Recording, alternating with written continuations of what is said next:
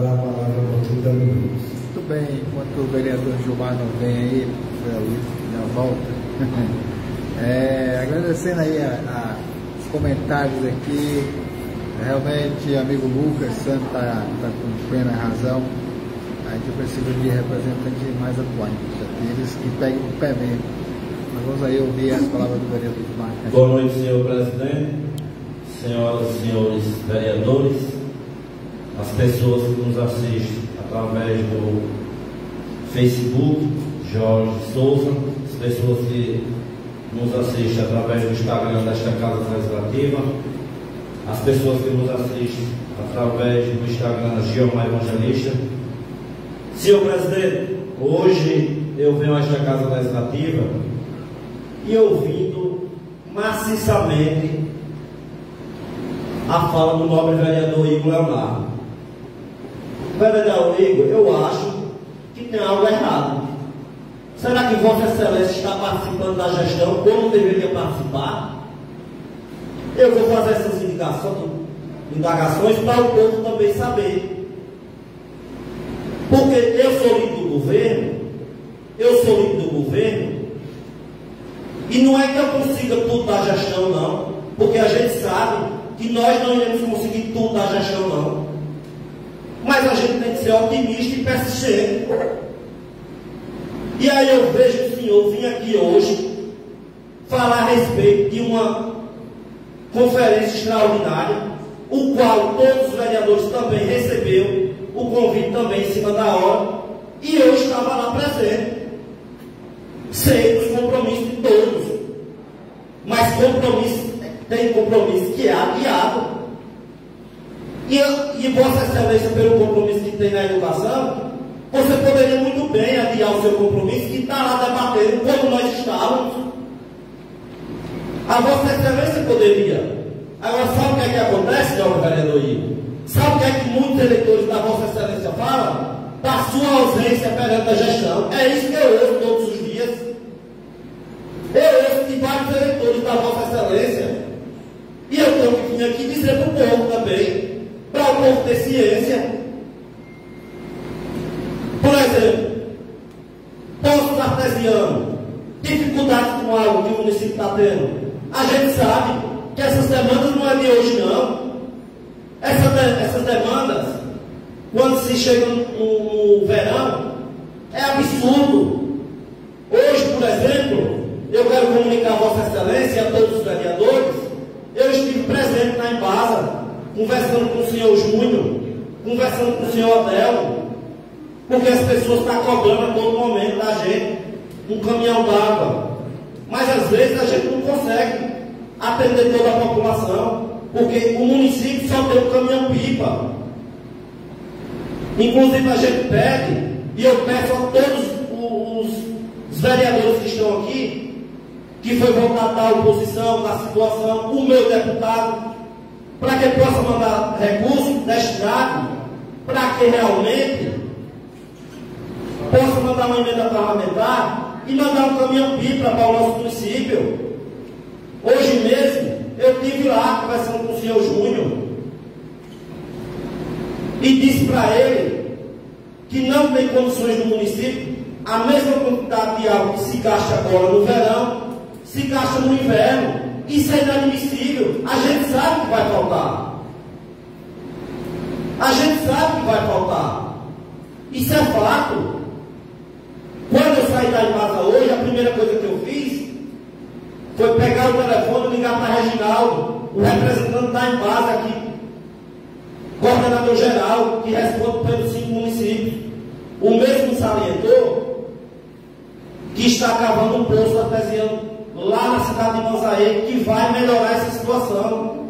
Mas que esse poço até o momento não terminou.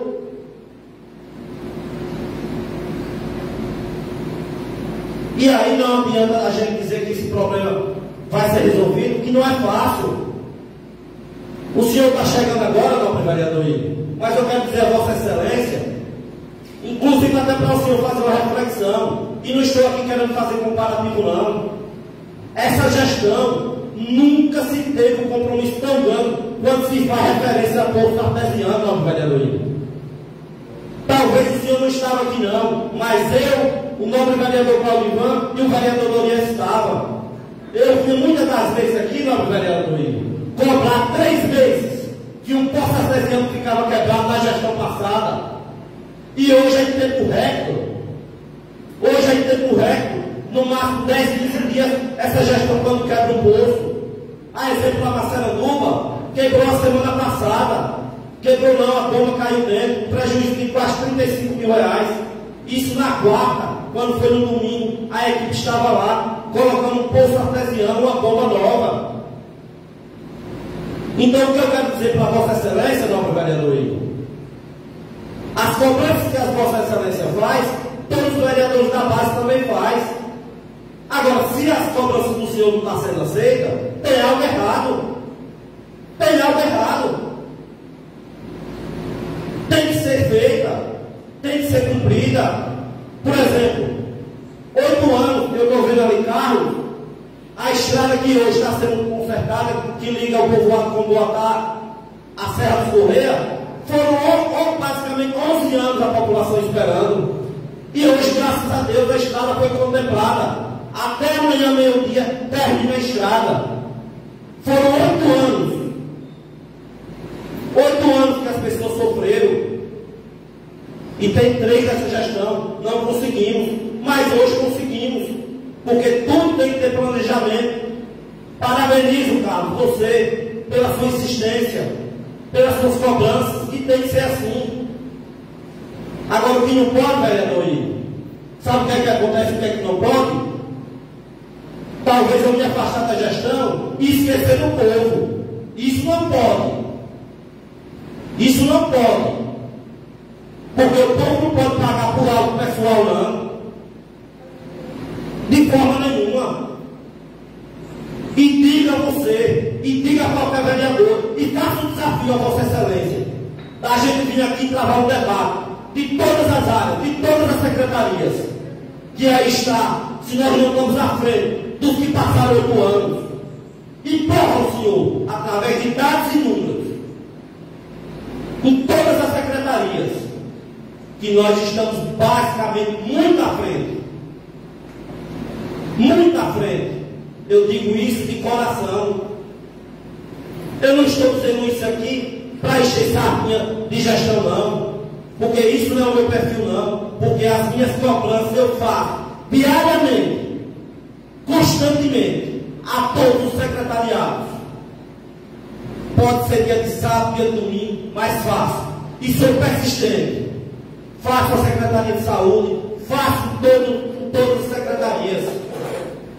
A gente sabe, essa questão de carros, o município tem quase 15 mil habitantes. Hoje, basicamente, com os carros da saúde, esses dias o pessoal veio fazer uma conta, já andou quase 10 mil pessoas com carro da saúde. É muito? Não, a gente quer que ande os 15 mil. Mas a gente também sabe, nobre vereador Igor, que o município não vai dar conta, não. A gente sabe que o município não vai dar conta. Porque várias demandas de saúde estão tá tá crescendo. A gente sabe que está crescendo. Mas eu digo com franqueza, e digo para as pessoas que estão me ouvindo, que nunca se viu rodar tanto carro na saúde como roda hoje. Hoje, nobre vereador Igor, não esconde carro para atender uma ressonância em Salvador, não. Como se escondia antes. Que antes as pessoas chegavam na Secretaria de Educação de Saúde e às vezes tinham benefício, mas escondia dizendo que não tinham carro. E todo mundo que é sabedor, que está aqui me assistindo, sabe que eu estou falando a verdade. Eu não estou aqui mentindo, não. A gente sabe, o município aí já comprou vários carros com recurso próprio. É pouco, é. Tem, temos que conseguir muito mais, temos. Inclusive pedir aos vossos deputados, o seu, vereador, o meu, entendeu? Para que mande recursos para que possa comprar um carro, para, possa destinar à ação social, possa destinar à saúde. Aí sim, isso é importantíssimo, que foram todos votados aqui. E como a Vossa Excelência anda muito Salvador, leva essa indicação que o deputado da Vossa Excelência manda um carro da saúde, uma verba destinada à saúde, que possa comprar um carro, que possa atender o povo melhor. Isso nós almejamos.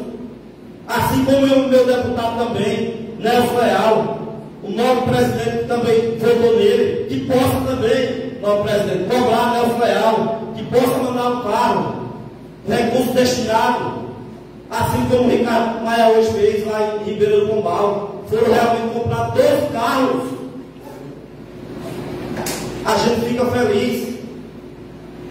E a gente quer que venha para Heliópolis também. Mas não adianta a gente vir aqui dizer que o município hoje não está todo vapor, está sim. Hoje tem obra em todo o município.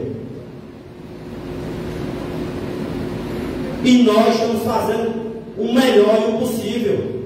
Quando a Vossa Excelência vem aqui e cobra uma rede de esgoto, inclusive do meu amigo pessoal, doutor Anderson, eu já cobrei o prefeito por várias vezes. Quinta-feira mesmo eu cobrei o prefeito. E o mesmo disse, eu irei fazer aquela rede de esgoto. Mas no momento não posso fazer pela questão de recursos financeiros. E aí eu vou fazer o quê? Eu vou fazer o quê? Se o prefeito disse que não tem recurso financeiro para fazer, eu vou vir aqui dizer que estou cobrando para a população saber que eu estou cobrando. Eu quero ser cobrado, mas eu também quero ser atendido.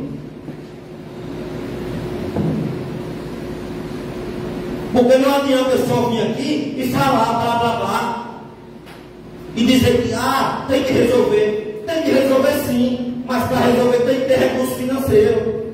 Já viu resolver algo sem recurso financeiro? Por exemplo, quinta-feira eu cobrei o prefeito e ele mesmo me disse, Gilmar, eu quero fazer aquela rede de esgoto, mas além da rede de esgoto, tem uma problemática no que se refere à água, a drenagem da água. Porque não adianta botar manilha nem de 20, nem de 30. Tem que ser uma manilha grande. E hoje o município, no momento, não está tendo recurso para que realmente possa comprar. Agora, adianta eu dizer aqui que eu não cobro? Lógico que eu cobro. Eu cobrei ao prefeito, foi, isso foi quarta ou quinta-feira da semana passada. Assim como eu cobro várias estradas do município. Agora mesmo, o nobre vereador Raul não está aqui, mas a região dele foi contemplada. A região lá do, do Cumbazê, do Pindobal, do João Grande. Inclusive, o nosso amigo Grosso aqui deve ter conhecimento que o cascalhamento chegou lá até o Rio das Contendas. Que a gente sabe que foi muitos anos, nunca chegou a caçamba de cascalho lá naquela localidade.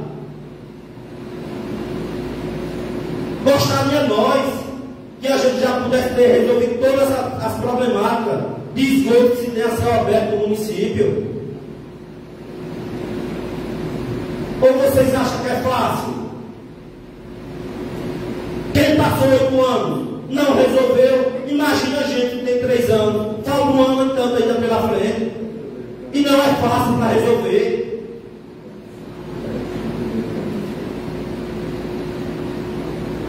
No que a nobre vereadora Maria falou a respeito de cestas, esses dias eu estive conversando com o assistente social do município Ivan. O mesmo disse que não tem um programa específico de cesta básica no município. Mas se a senhora quiser, a gente pode fazer um requerimento aqui nesta casa e convocar o senhor Ivan para que ele possa vir aqui explicar para o povo.